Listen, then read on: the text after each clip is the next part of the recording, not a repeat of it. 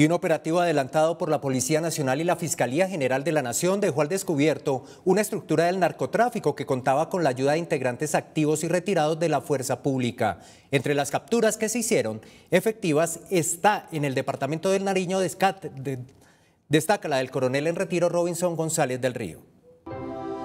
El coronel Robinson González del Río será presentado ante un juez, junto a otros uniformados activos y en retiro del ejército, capturados por su presunto apoyo a la organización delincuencial conocida como Los Contadores, dedicada al tráfico de cocaína desde el departamento de Nariño hacia el exterior, y en la que estaría al frente alias Matamba, detenido en la actualidad. La lucha contra el narcotráfico es sin tregua y sin distinción en un operativo desarrollado por nuestra Policía Nacional, en conjunto con la Fiscalía y el Ejército, a partir de los esfuerzos de contrainteligencia, fueron capturados varios individuos que pertenecían a una estructura criminal y narcotraficante.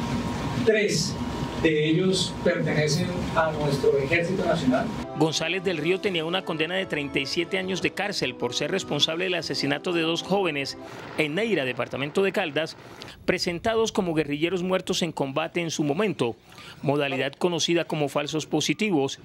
y esta le fue revocada a cambio de libertad condicional por su colaboración ante la Justicia Especial para la Paz, JEP. No vamos a permitir que ningún hombre de la fuerza pública manche el honor de los uniformes y por eso la acción contundente también desarrollada por Policía, Fiscalía y el mismo Ejército para lograr encontrar y capturar a aquellos que manchan el honor del uniforme. González del Río fue retirado del ejército cuando le demostraron judicialmente hechos de corrupción con la contratación en el interior de esa fuerza.